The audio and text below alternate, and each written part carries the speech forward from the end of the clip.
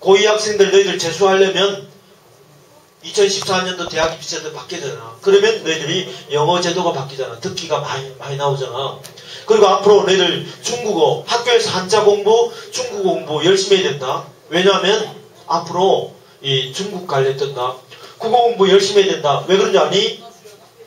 수학. 아니 2분에 한 번씩 풀어야 되는데 국어 공부 열심히 하는 애들은 나중에 2분에 한 번씩 못 풀면 다 못 푸는 거야. 그 다음에 수학과 과학을 열심히 해야 될 이유가 뭔지 아니 너희들? 앞으로 쌤이 보여줬잖아. 앞으로 뜨는 직업은 수학과 과학의 어떤 첨단 직업이야. 그래서 수학과 과학. 그런 쪽이 있겠습니다. 역사, 도덕 이런 걸 너희들 공부해야 될 이유가 뭘까? 아니 미래를 보는 눈을 가져야 돼. 미래를 세계를 보는 눈. 자 영어로 perspective라는데 우리 같이 발음해 볼래? perspective 시작. perspective. 세계를 보는 눈을 가져야 된다. 눈. 자 그런 걸 쌤이 얘기했고 자 그 다음에 호랑이는 죽어서 뭘 남길까? 가죽. 사람은 죽어서 뭘 남기니?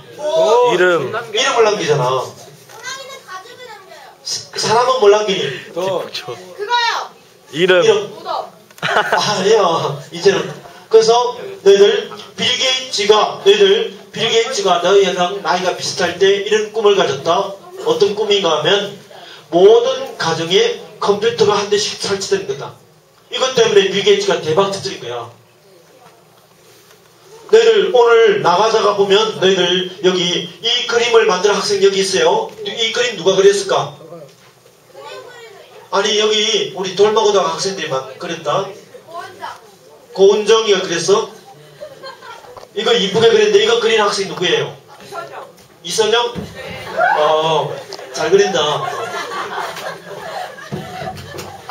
너희들 여기 1층에 시청학실 옆에 가면 뭐가 있는 줄 아니? 여기에 변형태, 아 반기문, 오바마, 그 다음에 누구지? 김연아, 박지성 그림이 있다. 또 밖에 있는, 가면 뭐가 있는 줄 아니? 너희들 뭐? 빌 게이츠와 그 다음에 애플, 스티브 잡스 그런 게 있다.